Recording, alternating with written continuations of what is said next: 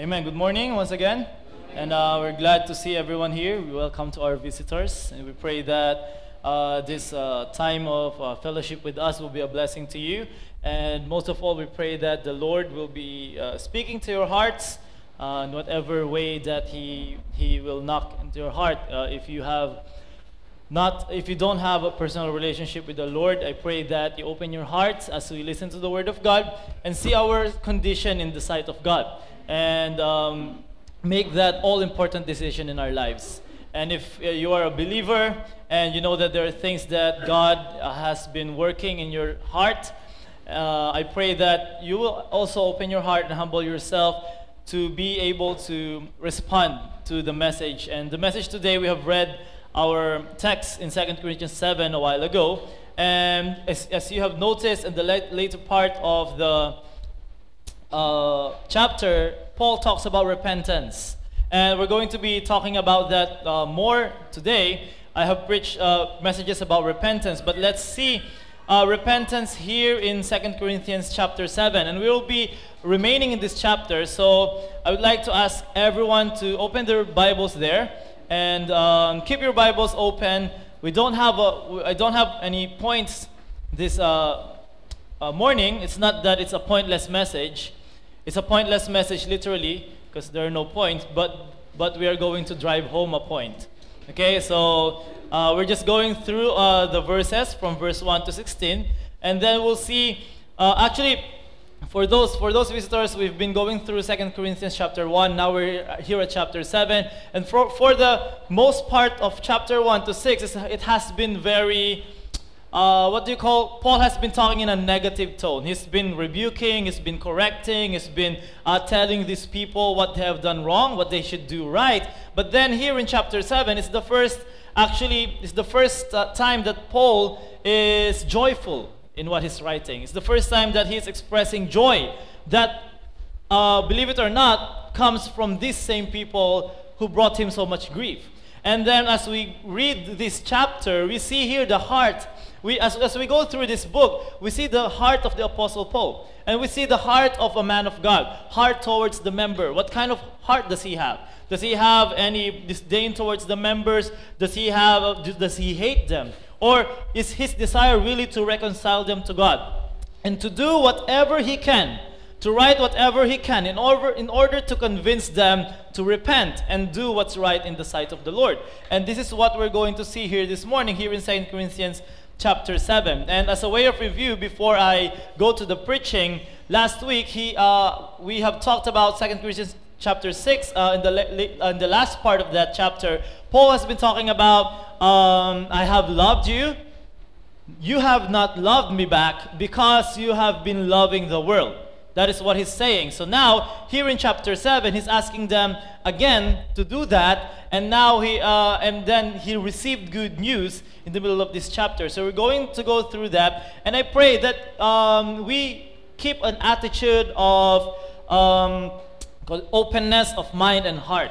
Because, you know, and the best preacher can come here and preach. The best pastor can come here and preach.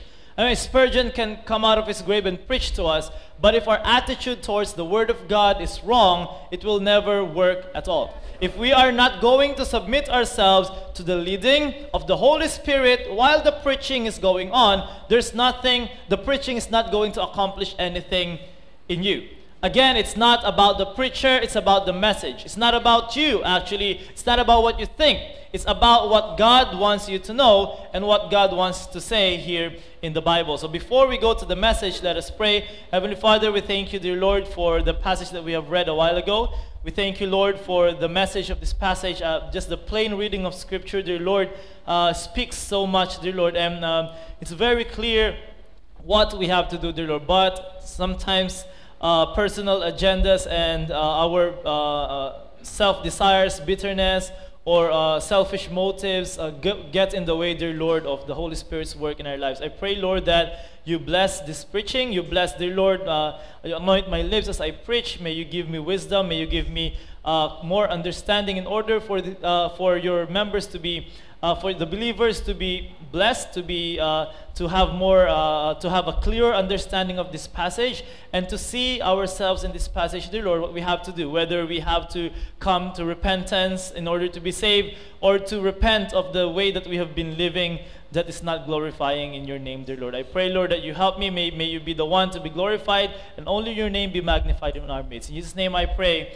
Amen. So, here in uh, 2 Corinthians chapter 7, um, let's uh, let's go let's as a way of introduction let's go to the let's go through all the verses. Here in verse 1 it says here therefore having these promises. Now these promises are talking about if you if you remember last week uh, in Second corinthians chapter 6 verse 14 to 18 paul is telling the people remove all these worldly influences stop all this worldly um, thinking worldly relationships and the promise is i will receive you. So god promised them that um, if you are going to stop thinking in the worldly way, if you're going to stop loving the world, you will have a better relationship with the Lord. You're going to be closer with the Lord and with the man of God. So, having therefore these promises, the promise that God is going to receive us, the promise that God is going to be closer, or we're going to be closer to God if we're going to separate ourselves from the world, having therefore these promises, let us cleanse ourselves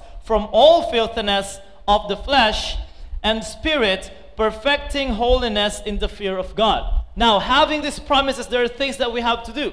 Having these uh, uh, wonderful promises of God, first is we have to cleanse ourselves from all filthiness. We have to remove sin. We have to cleanse ourselves from a sinful living. Now, in our lives, there, are, there is a cleansing that only God can do. When you came to repentance to the Lord and put your faith in the Lord Jesus Christ, He has cleansed you of all iniquities and declared, you righteous, okay, in the sight of God. And now you're saved. That is a cleansing that only God can do, not of you. That means when you got saved, when you started the Christian life, when you became a believer, it was not your own cleansing. It was not your own works. It's not your, it's not your good works.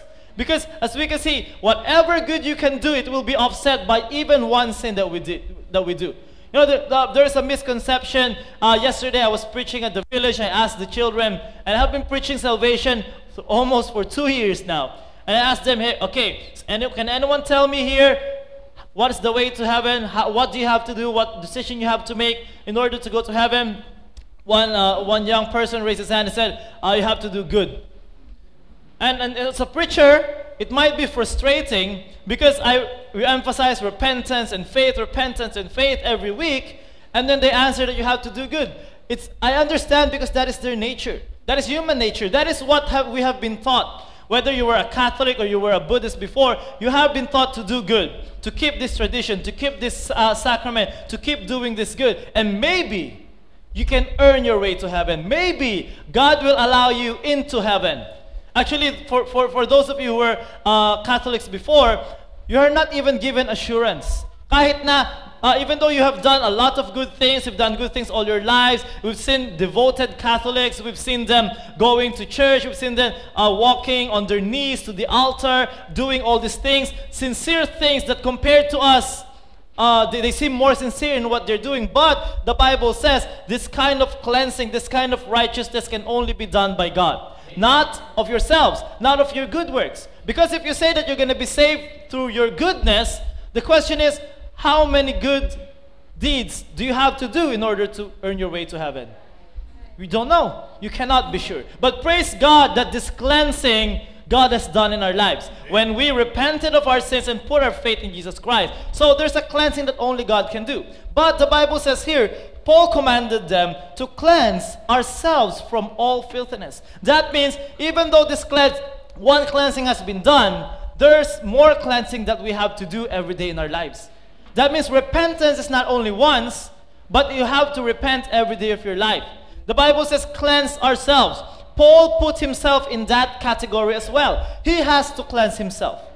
He has as well to cleanse himself. Even though he's the one commanding, even though seemingly he's the one who knows the answer to the problems of Christian life, he still put himself there. We have to cleanse ourselves. Having therefore this promise, we have to cleanse ourselves. We have to remove all this filthiness, unrighteousness in our lives. Not only to cleanse ourselves says here, cleanse ourselves of the flesh and the spirit. Because these are two different things. You cleanse yourselves of the things that you're doing in your flesh and your spirit as well. Because most of the time we forget the spirit part. We forget the spiritual part. We, it's, it's easy for, a, for a, a, a person to cleanse yourselves of the flesh. If you see the ministry of Jesus Christ, all these harlots, all these tax collectors, it's easy for them to come to the Lord in repentance. Because their sin is open. People can see it.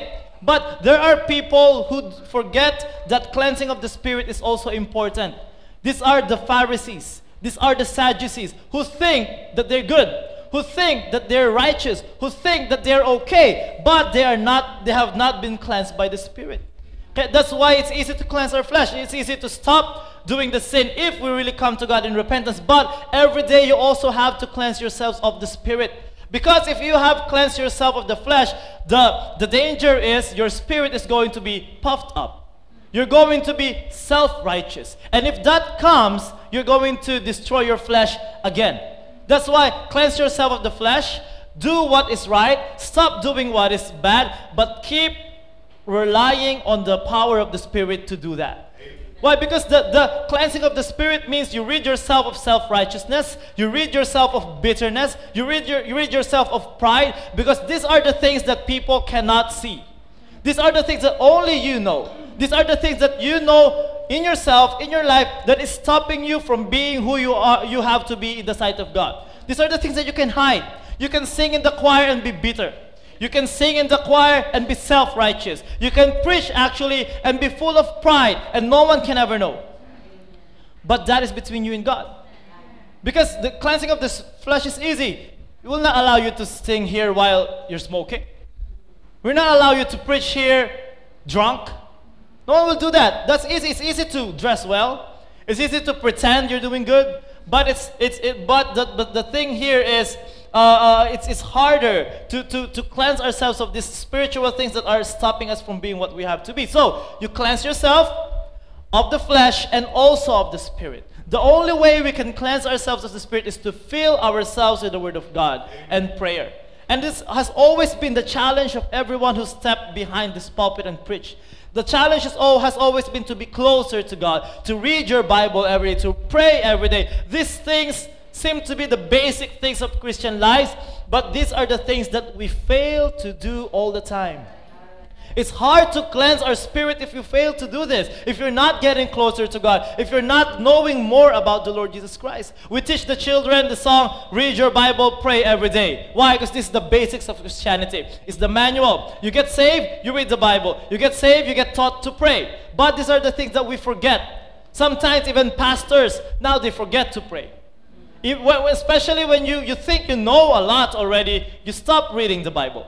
You think you know a lot of doctrine, you stop studying the Bible. You think you're already accomplishing a lot for God, you stop praying because you think you can do it yourself. But if you stop, even though you have been a long time Christian, that's the time you will fail. You will not be protected from self righteousness. That's why it's important, very important, to always read, to always pray, to get closer to the Lord.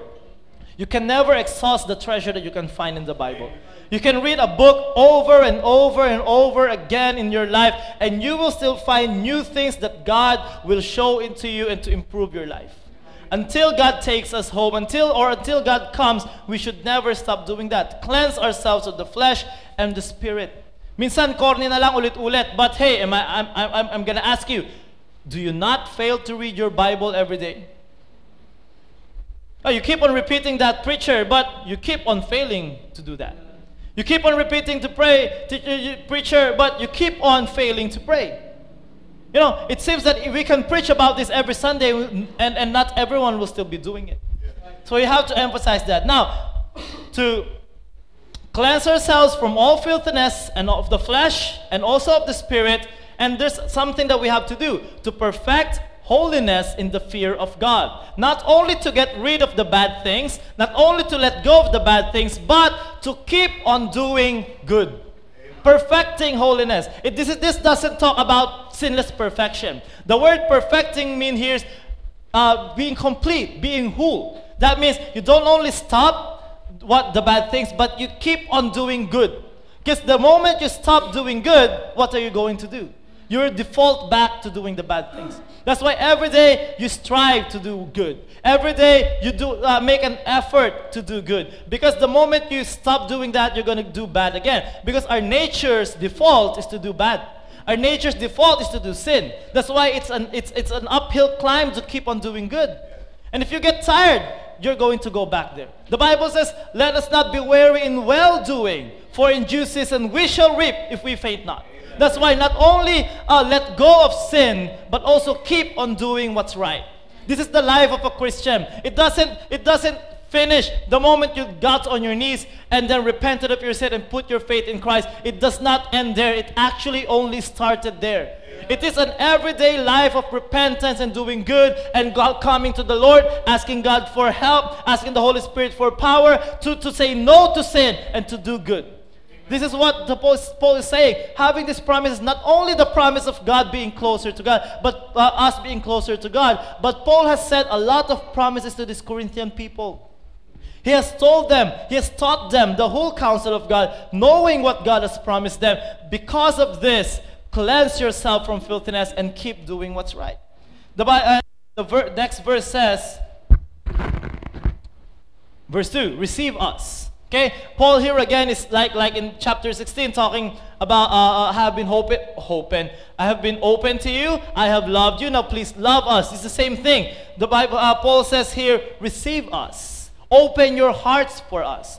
Last, uh, the, the previous chapter he says that you have a lot of room in our hearts. But we don't have a place in your hearts. Why? Because you've filled your hearts with the world. you you have filled your hearts with the filthiness of this world. Therefore, re- rid yourselves of that, remove that from your heart, and then love us instead. Okay? Receive us. You know, because, because Paul, uh, people here have accused Paul of not being a prophet, have accused Paul of not being used of God. They have accused Paul of not being, uh, uh, uh of, of being too uh, abusive of his authority. But now Paul is saying, remove those things from your heart.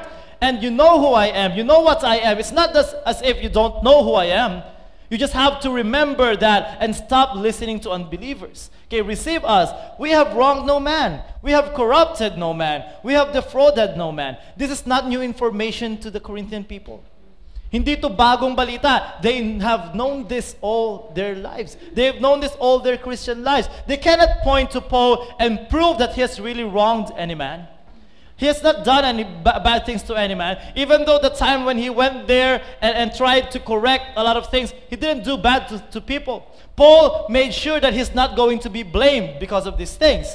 We have wronged no man, he said. We have corrupted no man. Wala kaming sinira ng buhay. We have not destroyed any lives here. That's what Paul said. And they know that. Their lives have been better comparing to when they were unbelievers to now that they're serving the Lord. We have not corrupted any of you. We have taught you what is right. We have not taught you what is wrong. We have not corrupted you. We have defrauded no man. I, we, have not taken adva- uh, we have not taken advantage of you. We did not take advantage of you. Remember when Paul was going around the churches and asking for money to help the, uh, the, the, the, people at Jerusalem because they were having trouble financially and, and, and uh, of course they, they, uh, there was a famine. He was going around. Uh, the church at Corinth is the church that he boasted of saying that these people have been trying to save money for almost a year now so that they can help the people at Jerusalem. Now, this is a large amount of money. It's not, it's not, uh, it's not a, a, just a, a few amount. It's, it's actually a few churches giving him money to give to Jerusalem. And they're the ones carrying that. In order to be accountable, Paul doesn't do that alone. He is with other people. Okay, because he knows that he can be corrupted, he can be, he can be tempted to take the money for himself. So he said, We have defrauded no man.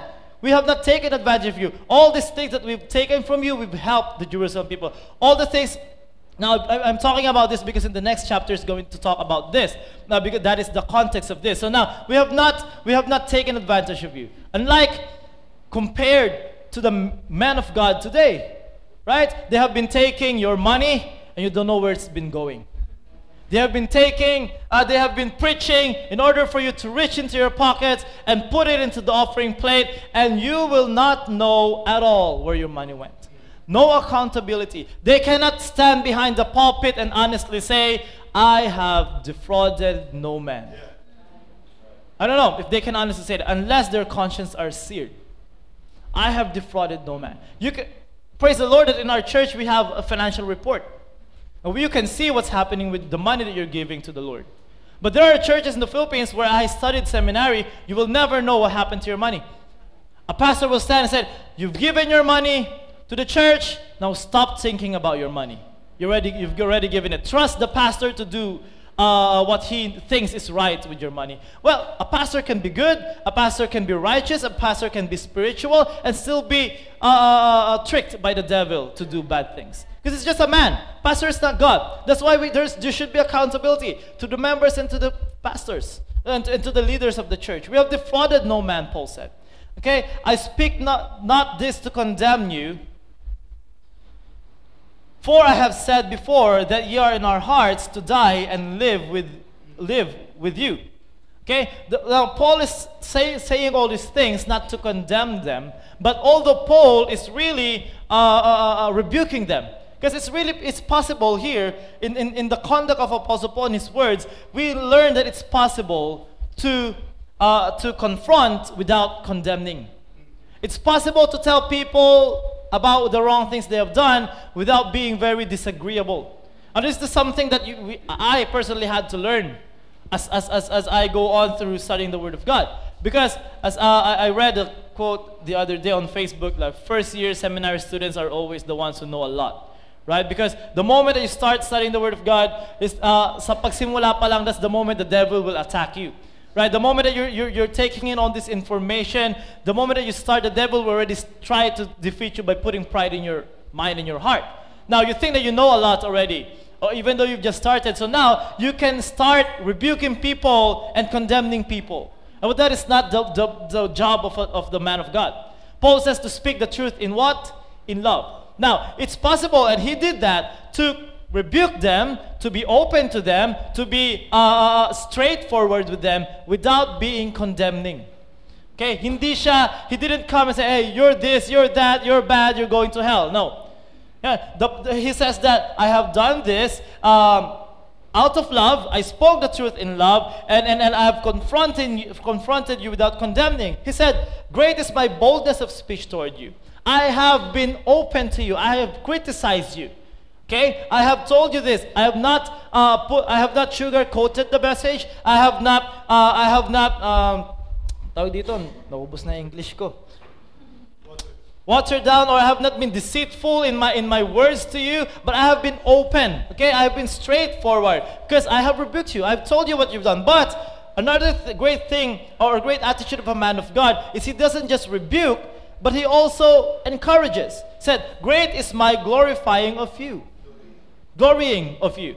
Okay, if you remember the church at um, Macedonia, the church at Thessalonica, Paul has spoken so highly of the Corinthian people to them. He said, Oh, these are examples. These Corinthian people are good people. These Corinthian people have been uh, good testimonies in their places that, that, that, that you have to be challenged. They have been giving, give as well. They have been faithful, be faithful as well. So Paul says, I have not only criticized you, I have also praised you. Okay? I was also proud of you. Later on in this chapter, you can see that para uh, Paul and Titus, uh, it's not the correct word. It's, ano ba sa English yung parang pustahan na hindi naman pustahan? Paul assured Titus that these Corinthian people are going to repent. Trust me. But Titus has been very uh, uh, uh, skeptical of that. So they, they had this thing. later on, we're going to see that Paul won. It's not a wager, it's not a bet but it's just something that they think will happen. All right, so Paul has spoken highly of these people. You know, some, uh, sometimes uh, you, you can meet a, a preacher, a pastor who, who speaks rebuke all the time. That is fine. The Bible is profitable for rebuke. But it's also, it also has to be balanced. Has to be, you have, uh, you, uh, a preacher has to know to uh, praise someone as well. Not to praise in a fleshly manner, but to appreciate what you're doing for God. But then, as a as a person, as a member who's listening, you have to accept the rebuke and the praise the same. Not only accept the praise and refuse the rebuke. Because most of the time, that's our attitude. Pagka tinamaan ka na. Pagka pabor sa'yo, nakatingin ka na naman sa preacher. Ay, nako, gets na mga preacher yan dito. Alam, alam nila sinasabi ko. Do you know what I'm saying? If, if, if, if what we're saying is against your personal principle or, or, or it's rebuking you somehow, you see people put their heads down. They stop listening. They stop looking at you. But then when what you're saying is favorable, they look at you again and they smile and they say amen. You know, it's a blessing. One blessing here is to see, uh, when you stand here, is to see sino who's spiritual, who's carnal. You see, why? Because the sign of a carnal person is they choose, they pick and choose what they want to listen to. But a spiritual person accepts the word of God as it is. Okay? So, we have wronged no man, we have defrauded. He says that I, I didn't do this to condemn you. I have been critical of you. I've been criticizing you, but I've also been boasting about you. I am filled with comfort. I am exceeding joyful in all our tribulation. Now, before I, I put this into context in what he's telling the Corinthian people, let's look at that. I am exceeding joyful in tribulation. Because the life of a Christian is full, full of tribulation. We're not talking about the seven year tribulation. We know, we, we, we believe that we're not going to experience that. But the life of a Christian is full of trouble. The Bible says, why are you, uh, in, in, the book of James, uh, uh, why are you surprised that you're having trouble with your life? Why are you surprised that people are persecuting you? Jesus said, if they have done this to me, they will do that to you. But the Bible says, through tribulation, don't you have to be exceeding joyful. You have to rejoice. The Bible is not commanding us to be stoic throughout this tribulation time. It's like you're, you're, you're a stone, unmovable. But as well, but at the same time, no joy. You know, the Bible says patience in tribulation is active patience. Not that you're just standing and doing nothing, but as, as, but as you are uh, trying to endure tribulation, you find joy in doing that. Why? Why can you find joy? Because you experience God more.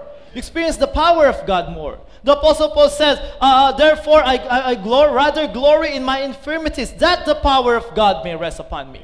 Because the, the weaker I am, the more infirmities I experience, the more harm people do to me, the more power God is bestowing upon me, the more grace God is giving to me, and I am enjoying that. Now, Paul, uh, uh, of all people, Paul says, I am exceeding joyful in all our tribulation while writing to these carnal people. There's no reason to joy, to, to have joy. But then he said, I am exceeding joyful. Now, he says here, For when we were coming to Macedonia, our flesh had no rest, but we were troubled on every side. Without were fightings, within were fears. Nevertheless, God, that comforteth those that are cast down, comforted us by the coming of Titus. Now, if we're going to look back at 2 Corinthians chapter 2, verse 13, if, if uh, can you please flash that? It says here, I had no rest in my spirit, because I found not Titus my brother. But taking my leave of them, I went from thence into Macedonia. Remember when I preached about this in this chapter, uh, Paul was, was having trouble. Paul and his company, they're waiting for Titus. Why? Because Paul has sent a letter to these Corinthian people through Titus, and he's been waiting word. Para bang excited siya, he's been thinking, are they going to receive my letter in the right way, or are they going to be even more discouraged because of the letter? Because the letter here seemingly is a severe letter, a sorrowful letter, a letter that's filled with rebuke and sorrow, the sorrow that they have caused Paul. Now, Paul has written that. We don't have a copy of it in our Bible. Okay, we only have First and Second Corinthians. That letter is between that. Now, now Paul gave it to Titus and, and said, Titus, give it to them. See how they will respond. See what they're going to do about it, and we'll wait for you. Now, Paul has been waiting for Titus, but he hasn't come. So they went to Macedonia. So from 2 Corinthians 2, verse 14, until uh, chapter 7 here, it's like, um, uh, uh, patalastas. And then pagdating sa chapter 7, tinuloy na ni Paul. When Titus came, what happened? But uh, the, the Lord allowed this to happen because in the middle of those things, we have seen treasures. We have seen uh, encouragement and principles that Paul has written to the Corinthians that we can apply in our lives. So now, this is a continuation. He said that, nevertheless, uh, uh, God, God, that comforted those that are cast down, comforted us by the coming of Titus. We see that Titus came. First, they were comforted because a, a fellow, a fellow laborer has come, the presence, but also they were comforted because he was bringing good news, not bad news. Now, Paul has been worrying. Are they going to receive it uh, in a correct way or not? Titus thinks not. I think they will repent. Now he's waiting for Titus. Now he said, I, I, I have joy. And now I, I, I am joyful because Titus, Titus were here. He said that we were having trouble in Macedonia. What kind of trouble? Without were fightings. Uh, we, we were fighting with people who don't believe in Christ. Not, not, not fighting like punching or whatever. We have been, you know, the, you know the attitude of Paul. He always goes to synagogues and reason with people, debate with them, and, and, and convince them that Christ, Jesus, who they've crucified, is the Savior, is the Messiah, is the Christ. So that's what he's been doing. Not only uh, uh, uh, um, uh, doing that with unbelievers, but he's also been uh, uh, playing this tug of war with believers who are seemingly going into the world. Now, without were fightings, and all this trouble that were happening from the outside. But we see here the heart of the Apostle Paul and, and, and the reality of a preacher or a leader within, inside, were fears. How, however brave a man of God seems to be behind the pulpit, there are fears in their hearts. They are not superhuman. They're just like you and me. Preachers and pastors are just like you and me. They have fears. They have anxieties, even more so because of all these people that God has entrusted to them. Now, Paul, through his through his fears, through anxiety, and, and all these things that he has experienced, uh, he, he's stressed. He's feeling the stress. He's feeling the fear, fear, fear, right? Without our fightings, within our fears. That's why, uh, as, as members, we have to be a help and encouragement to our leaders, to our, especially to our pastor. Why? They have been carrying enough for you to even burden them with more. Okay, this is, this is, a, good, this is a, a, a, a good attitude that we can have. And not by his coming only. We're not only encouraged because he came, but by consolation wherewith he was comforted in you. Because of the news that, that he was comforted, that his mind were put, was put at ease because he has spent time with you. When he told us, Your earnest desire, your mourning, your fervent mind toward me, so that I rejoice the more. Now, this proves that the Corinthian church has not altogether abandoned the Apostle Paul. Yes, it's true that there were false prophets who came in and tried to confuse them. And some were convinced that Paul was not really a, an apostle or whatever. But then it says here through the, the report of Titus, we see that God has been working still in that church. And, and they, have, they have still been open to, to, to what God wants, has to say, and that they have repented of that. Okay, later we're going to see that. For though I made you sorry with a letter, this is the letter that we have been talking about. This is the severe letter that we have that I have been talking about. Now let's try to let's try to put the timeline here. Paul started the church. Uh, one people to Christ taught them, and then because he's a missionary, he had to leave them. Now the first time that he left them, he heard that there were trouble. There was sin in the church. There are people who are causing trouble, are living in sin. So what Paul did was he went to the church and tried to correct matters. Try to, to, uh, to put matters into place. Now, apparently, some were offended with his conduct. So when he left again, he heard, right, that people were offended of what he did. So instead of going back again, because he thinks that they're going to even be more offended of my presence, what he did was write this letter instead. Gave it to Titus. Titus let them read this. Now, this is this letter. For though I made you sorry with a letter, you were sad because of this letter. I know you were sorrowful because of this letter. Okay? I do not repent, though I did repent. What this means is that when the moment I asked Titus to bring the letter, I was worried. I was like, I, I regretted writing some of those things. But now that I have heard, heard good news, that the letter was uh, uh, uh, has uh, produced great results in you, I do not repent. Now I don't regret it. Now Paul doesn't know everything, of course. It, although he's a great man of God, he doesn't know everything. He's even worried. He has anxieties. He has fears. He's, he's worried that this, he's going to lose these people uh, uh, um, uh, for, forever. Why? Because he doesn't, he doesn't plan on going back. What he plans is for them to realize their mistake. But then uh, he came, Titus came, and he saw the good news. For I perceive that the same epistle hath made you sorry though it were but for a season. When we are being rebuked by the word of God, by the man of God, by a preacher, it will make you naturally become sad. Why? Because you see yourself in light of scripture and it's not according, your life is not according to scripture. Malulungkot ka talaga. Wala namang pinapagalitan na masaya. Okay? The, uh, uh, if, if, if a pastor or a preacher is, is rebuking you, you will not be happy at that moment. You're not going to clap. You're not going to laugh. That's not a good feeling being rebuked. Oh, especially when you were a kid, when your dad is scolding you. Pag pinapalo ka, pagka pinagsasabihan ka, hindi masaya. But, it says here, For I perceive that the same epistle made you sorry, though it were but for a season. If you have a good attitude, the sorrow will not remain. There will be joy after that. Now I rejoice, Paul says, not that ye were made sorry, but that ye sorrowed to repentance. I'm happy not because you were sad, but because that sadness produced repentance. Now, Paul here is differentiating the sorrow from repentance. Because you can be sorrowful without repenting.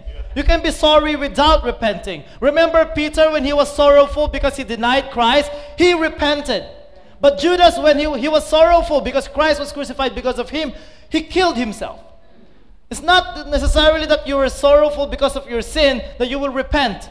Okay? The, the, what, what godly sorrow will produce repentance. So Paul said, I was not happy because you're sorry. As a father, as a person who love you, I'm not happy that you're sad, but I have to say these harsh words to you. But I have to say these things to you. I have to tell you what God wants you to know.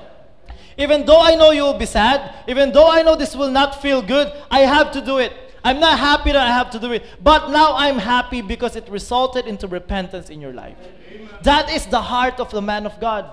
Huwag po nating isipin na pagka ang pastor, ang preacher dito, nanenermo, nagsisumisigaw, sinasabi ang ating mga mali, na masaya kaming ginagawa yon.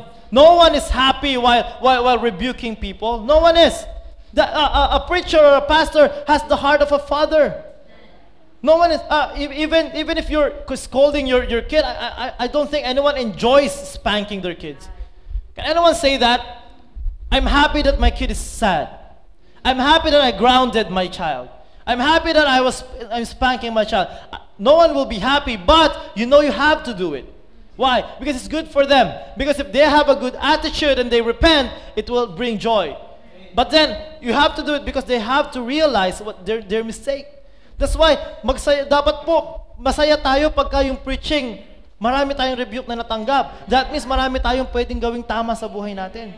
Minsan po talaga mali lang ang attitude natin. Ang yabang naman itong preacher. Kala mo naman wala siyang mali. Kala mo naman ikaw perpekto. Eh di ba lang, wag na lang mag-preach? Wala naman pong perpekto dito. Sino po dito pwede magsabi, ako perpekto, ako magpe-preach? Hindi wala na lang magpe-preach. But, our authority rests on the Word of God. As long as we're preaching the Word of God, whether you like it or not, you have to submit. Whether you like it or not, you have to accept it as the Word of God. And it's God talking to you and open your heart so that it will produce godly sorrow that, that results into repentance. Now, uh, he said, he says here that uh, uh, repentance here, I, I just want to dwell on this. Uh, sorrow and repentance. Because repentance in the first place is what got us saved. Now, repenting in itself doesn't uh, save you, but it is part of what saved you. You will not be saved unless you repented of your sin. That is the, a lot of people saying that that is the first word of salvation. When, when John the Baptist preached, repent, for the kingdom of heaven is at hand. When, when, when Jesus Christ started his ministry in Matthew chapter 4, his message was repent, for the kingdom of heaven is at hand. When Peter started preaching, he said, repent. Paul is also asking people, even in, in Athens, to repent of their idolatry. If you have not experienced repentance, if you have not repented of your sin, it's sad to say you are not saved. It's sad to say there will never be new, uh, a new birth. There will never be salvation unless you have decided to repent of your sins. I'm not saying that once you repented, you're not going to commit it anymore, but you have changed your mind because of that. And that resulted in a change of life. Not only a change of mind, but a change of life. Okay? That's why we can boldly say here that if a person professes to be saved, if a person professes to know God, but there's no change in their lives, they have not repented at all. And because they have not repented at all, they are not saved. I'm not judging, that's what the Bible says.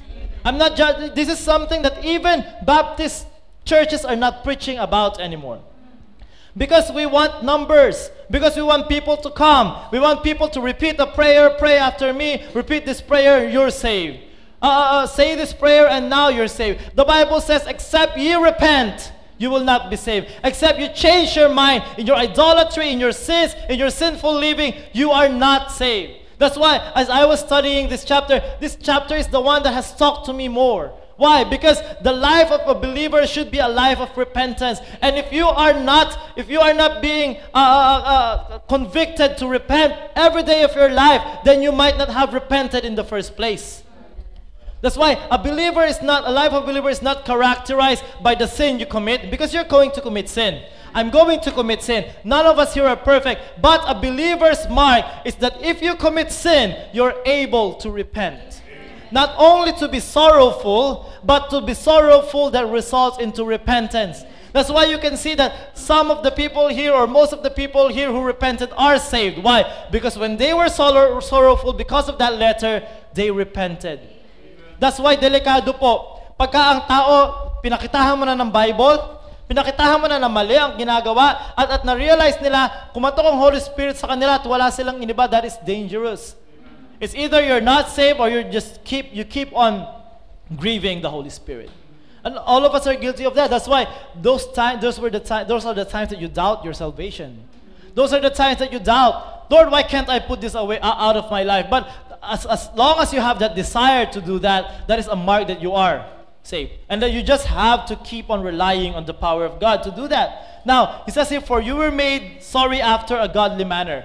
Now, that's why it is important for preachers to preach in the right way. It's important for us to present the gospel when, when it comes to salvation in the right way. Because Paul says here, you were made sorry by me, by my letter, after a godly manner. Okay? Not by my own words, but what God wants you to know. Okay? Because there are preachers who will stand behind the pulpit and convict by, their, by themselves people of their sin without referring to the Bible. There are preachers who will scare you of hell. Oh, it's a very, very uh, bad place. You don't want to go to hell. Of course, no one wants to go to hell. Who here wants to go to hell? Okay, some people even say that I don't want my life to be hell. Because hell is negative, that's in our mind. But, but hell is a, uh, is a completely different thing from what we're thinking. It is a scary place. It is a place that you don't want to be. But that's not the message. The message is simply that you're a sinner. You have to repent. You don't have to add many things to that. You can emphasize it. You don't have to add to scripture. It's enough. That's why the Bible, uh, Paul says, I made you sorry after a godly manner. Okay, not just by my own devices. I did not, uh, hindi ko kayo niloko, hindi ako nagkaroon ng gimmick-gimmick para lang makonvict kayo. I merely told you what God wants me to tell you and that's it. Alright? That he might receive damage by us in nothing. Why? Kasi pagka sarili niya lang ang nag-rebuke, pwedeng malungkot nga sila, ma-realize nga nila, pero ma-damage yung relationship. Kaya nga po, wag sarili natin salita. Wag sarili. Why? Because kung ako lang magre-rebuke, by my own words, by my own wisdom, pwede makarealize nga kayo, pero yung magibabago kayo sa akin. Pero if I rebuke you using the word of God, you have no reason to to to uh, uh, our relationship doesn't have any uh, a reason to be affected. Okay? That's why I said that ye might receive damage by us in nothing. We are unblameable because of this. What I'm telling you is basically what God wants you to know. Why? For God's sorrow Godly sorrow worketh repentance unto salvation. That's what I've been saying. You can be sorrowful but not be saved. You can be sorry but not be saved and not repent. That's why if anyone here in the midst, in, in our midst, if anyone here who thinks or who claims that I'm saved, I pray the prayer, I'm going to church, I, I have a Christian family, I have, I, have, I have married into a Christian family, and now I'm saved. No, the Bible says, unless you repent, you are not saved. Unless you were born again, you're not saved. Repentance and putting your faith in Christ goes together. You cannot separate that. You cannot just say, I trust God, but I don't want to repent of my uh, sinful life. That is simply not possible. It is the same time. You turn your back from sin and put your faith towards God. That's how you get saved. That's why sa, mga, sa, mga, uh, sa, sa atin po dito, unless sa buhay mo, nasasabi mo, hindi pa talaga ako nag-repent sa aking mga kasalanan, kapatid, hindi ka paligtas. Hindi pa talaga nagbago ang buhay ko, kapatid, hindi ka paligtas. If you haven't changed your mind about the Word of God, if you haven't changed your mind about the people of God, if you haven't changed your mind about the ministry of God and about your relationship with God, you are not saved. It's simple as that. The, the book of uh, um, 1 John I forgot. First John is full of, of is full of um, uh, uh, uh, dito, uh, marks of a true believer. Because uh, salvation will produce repentance, and true repentance will change your life. Okay? So for godly sorrow, worketh repentance unto salvation. Kasi hindi naman palungkutan yan. Pwede ka mag-repent na hindi ka na masyadong lumungkot. Pwede ka rin namang malungkot na malungkot, hindi ka naman nag-repent. Hindi po palungkutan. Okay? Uh, uh, the, what the question here is, uh, do you repent? Do you change your mind uh, towards this sin? And these Corinthian people have a lot to repent of. You can pick and choose. People have been glorying in sin. People have been doubting the man of God. They have to repent of all these things. For godly sorrow worketh repentance to salvation, not to be repented of, but the sorrow of the world worketh death. That means, kung lumungkot ka man, but then it resulted into repentance, don't regret it. Okay? That is what the, what is saying. For behold, the self same thing that ye sorrow after a godly sort, what carefulness it wrought you. Now, in this verse, Paul is telling them what, what's the result of repentance in their lives. It says, what carefulness it wrought you. Carefulness. True repentance will produce carefulness. Carefulness here means diligence or faithfulness. Uh, if, if you really turn your back from sin, we need to be diligent in order to remain turned from sin. Kasi hindi po given na tinalikuran mo ng kasalanan, hindi ka nahaharap uli. Okay? What I mean is, it's, it's, it's not automatic that you repented of your sin and you're not going to commit any sin anymore. That's not a given. That requires effort. Now, but true repentance will give you that diligence to keep on turning away from sin. Okay? What carefulness it wrought you. Yea, what clearing of yourselves. Is that the, the next one? Yeah. Carefulness read you. What, uh, what clearing of yourselves. Now, true repentance will give us confidence because we have left sin. It's that we have been cleared. Well, yung konsensya natin malinis. Why? Because we have truly repented. Yea, what indignation. Indignation here means displeasure or annoyance. That means hindi ka na masaya sa kasalanan. Pag tunay ka nag-repent, you will not be happy in sin anymore. Yes, you might still fall once in a while. Yes, you might still commit sin, but you hate that you do it. You don't rejoice anymore. Now, you say, what's the difference? A Christian commits sin, an unbeliever commits sin. The difference is what happens after the sin. A believer is not happy that he was able to commit sin. A believer, uh, an unbeliever might be happy because he committed sin. Okay? That's the difference. Indignation. Yea, what fear? You will fear falling into that power of sin again. You will, you will have that fear. Matatakot ka nang gumawa ng kasalanan. Yun yung lagi sinasabi ni, ni, ni uh, Kuya Alex dito. Ang tunay na ligtas, nakalimutan ko yung mga words ni Kuya Alex eh. Hindi, we don't commit, we don't do, we commit sin, we might fall to sin, but we don't do it. It's not our lifestyle anymore. Okay, because we're afraid to do it. Why? Because we've seen the power. God has removed us from that power, and we should be afraid to do that again. What vehement desire? That means now our desire is going to change. It's not towards sin anymore. Our desire is towards righteousness. Kaya nga, guard po natin ang ating puso. Ano yung desire mo? Are you desiring to do what's good? Are you desiring to do what's right? Or do you still desire to do these wrong things in your life? There's something wrong pagka po ang desire natin. That means, if you truly repented, your desires is toward the things of God now. Hindi ka na tinatamad dito. Hindi ka na tinatamad sa Bible study. Hindi ka na tinatamad sa pagbabasa ng Bible. Hindi ka na tinatamad sa preaching. Why? Because this is your desire. If you're doing what you desire, you're happy.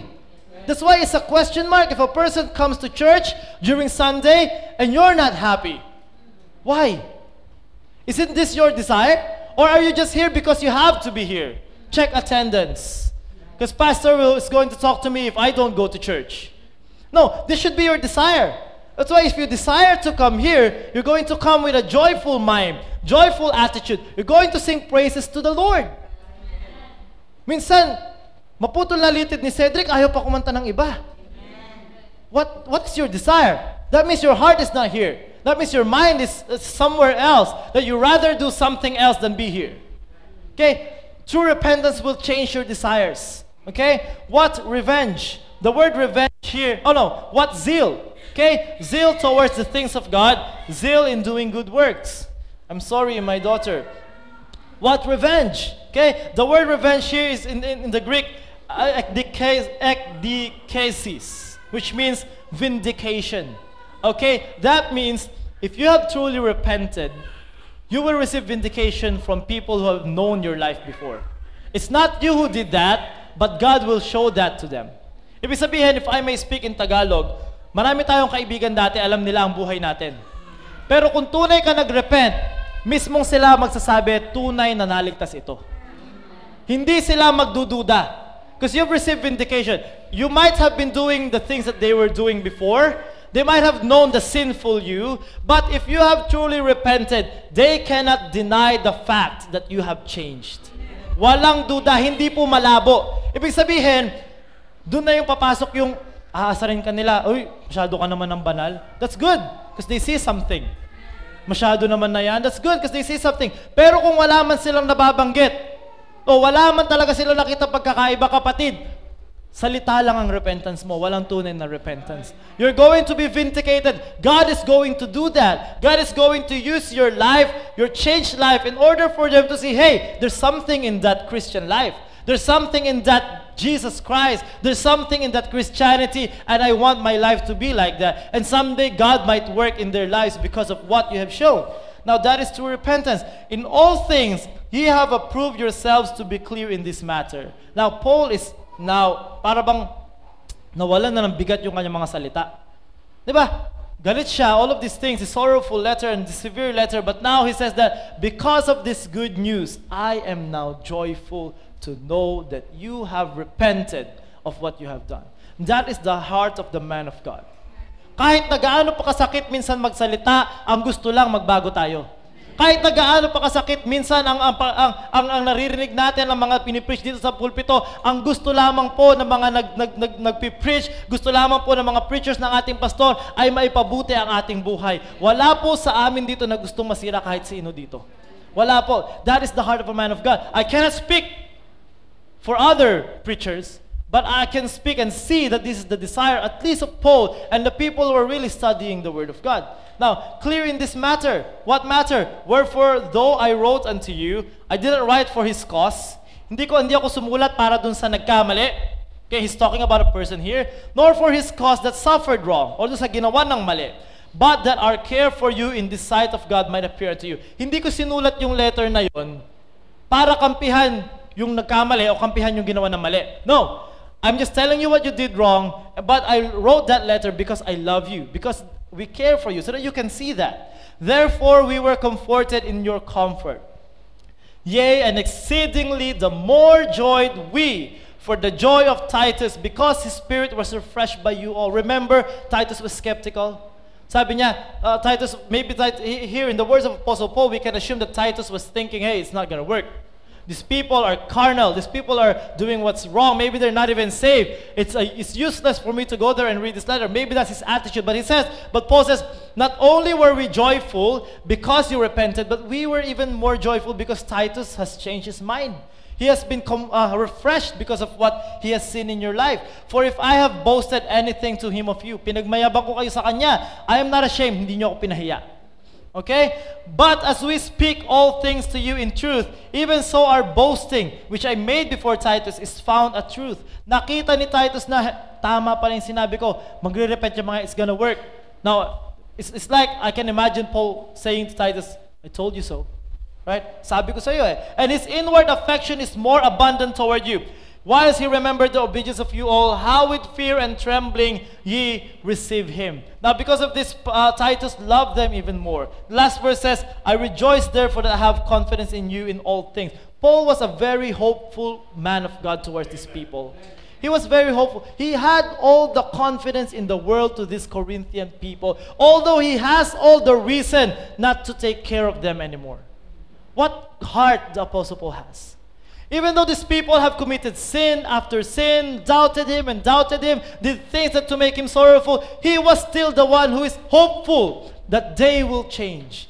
And it has been rewarded. They repented. Maybe not all of them, but at least a number that made the Apostle Paul joyful, even through the tribulation that they were experiencing there in Macedonia. The fightings without fears within, but Titus came with this good news. I am now exceeding joyful, Paul says. That is the heart of, a, of the man of God. Kaya po ang challenge ko, my challenge to you this morning is, the men of God who are preaching here loves you. It's not a question. Okay? If we don't, we're not going to preach. Right? It's, it's very tiring to preach. Now I realize it's even more tiring to preach Saturday and then Sunday. Now I appreciate what our pastor appreciated more. Because every time, dati nagpipreach ako hapon lang, pagpasok ako sa, sa school, pagod na pagod ako sa gabi. Pero nakakapagod din po pala talaga. Lalo na kung nagpipreach ka na talagang binibigay mo. Meron nagpipreach na nagkikwento lang, hindi mo mapapagod. Pero po talaga yung, yung, yung thinking, yung, yung, yung, yung, yung, yung utak gumagana, nakakapagod. Lalo na kung medyo mahina talaga yan. Mapapagod ka lalo. Na, kaya nga po, that's why when they preach here, they encourage you. They, they, they, we, uh, we try to rebuke you. Now the thing here is, we are doing these things. We're steering your emotion. We're using the Word of God. Our goal is for everyone, including ourselves, to be able to repent of the things that we see in the Word of God. Kaya po pag makita nyo na, parang ako yung pinapatamaan, sige ikaw na. Ang tanong, anong gagawin mo? Because of that. Sige, ikaw na ang pinapatamaan. Sige, ikaw na ang title ng preaching. Okay, sige, sabihin na natin yun na. Anong gagawin mo? Dahil ba ikaw ang pinatamaan? Because you said that I'm not going, bala ko na sana magrepent eh. Kaso sinabi mo, wag na lang. Ganun po ba yung attitude natin? Now my challenge you, how do you respond to the Word of God? How are you? The Corinthian people responded the right way. They have the Holy Spirit. How are you going to respond? I believe that the uh, uh, preachings here have been tough to some of you. Even to us, it has been tough. Why? Because we see ourselves in the light of scriptures and we fall short every time. We're the first ones who find ourselves short every time whenever we're studying the Word of God. It's like, I'm not even worthy to preach this looking at my life, but I have to do it. I've been called to preach. I will do it. But then the question is, now that you see that, are you going to repent?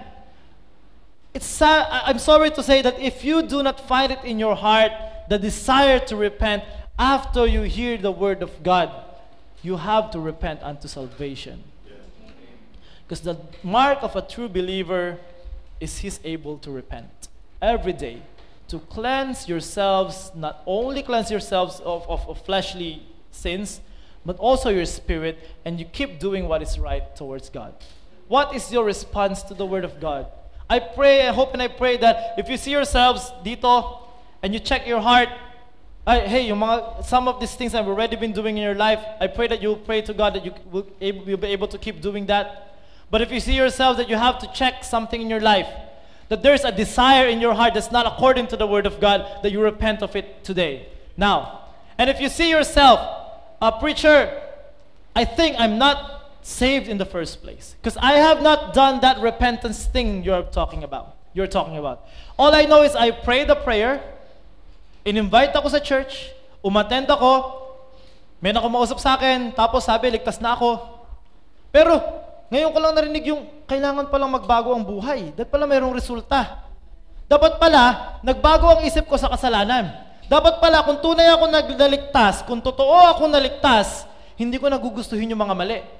Parang hindi yun ang naisabi sa akin. Kapatid, ibig sabihin nun, hindi ka tunay na naligtas. And it's a blessing na narinig mo ito ngayon, ibig sabihin, may chance kang maligtas. Now is the day of salvation. Now is the time to repent. For believers, now is the time that you repent of the things that we have been doing wrong. For unbelievers, if you are, don't have that relationship with Christ, now is the time to open your heart to the Spirit, Holy Spirit of God and repent of your sins and put your faith in the finished work of God. I pray that this will, one of this will be our decision. Whatever your situation is, whatever is happening in your life, you see yourself in the word of in the light of the word of God. Now repent. Repent of what you've been doing. Believer or not, repent of what you've been doing wrong. And let us change our minds to the Word of God, or whatever uh, we, we think of the Word of God. Let us all stand and let's pray. Heavenly Father, thank you again for uh, the message. We thank you for 2 Corinthians chapter 7.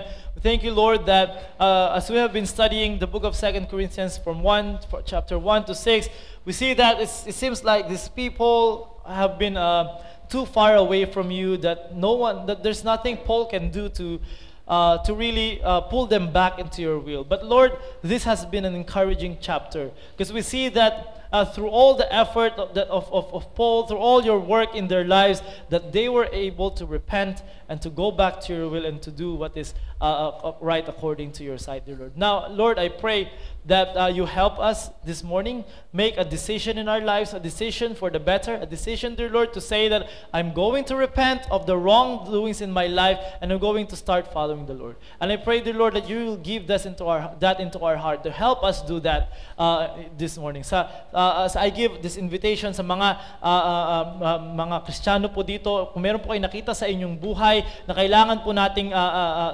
baguhin, kailangan natin palitan.